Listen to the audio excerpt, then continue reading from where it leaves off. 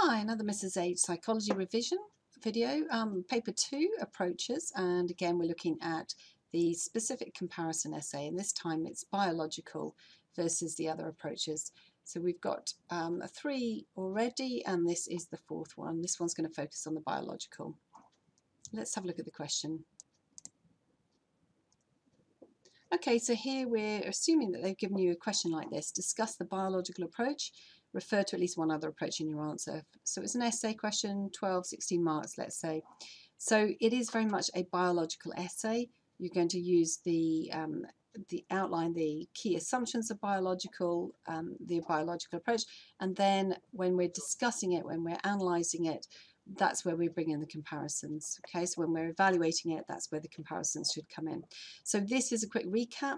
So you should already know these, but um, AO1s, you are outlining biological determinism, genetics, uh, so that genes influence behavior, Darwinism, in other words, using animals, etc., and making comparisons, and the whole area of focus is on the brain and behavior um, being influenced by the brain.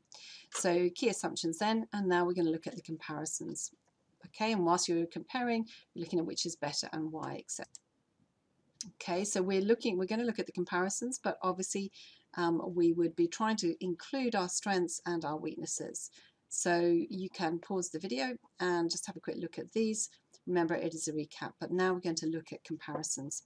So starting off with psychoanalytic, probably quite a common one really. Psychoanalytic versus biological. Okay, so key areas to discuss holism, reductionism, nature-nurture, free will determinism, the methods they both use, in other words, are they very subjective, or objective, uh, therapies that they come up with, whether it's negative and past, present, etc. So the, these ones at the top are probably the most important ones.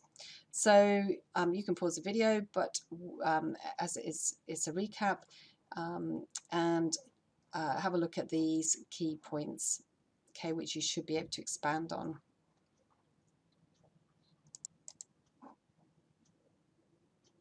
Okay, and then going on very quickly, we've got behaviorist versus biological, biological versus behaviorist.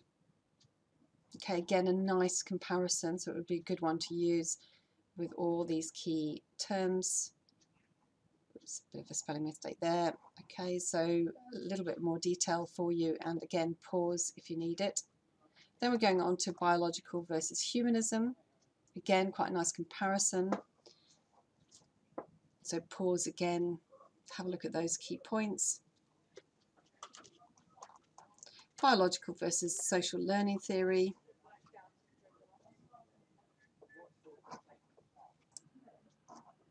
And finally, biological versus the cognitive approach. So it's probably not quite such a good one uh, to compare, but obviously I've put it up there just in case you, you need it. Okay, so if we go back and have a look at our essay question again, just to recap, make sure we're all clear on that. You would be answering a biological question. Okay, so you're outlining the biological approach, you're outlining the AO1s, and then in your discussion, in your evaluation, you're bringing in the comparisons. And when you're comparing, you're trying to make those evaluative com comments about which is better. Okay, and then there'll be another video as well.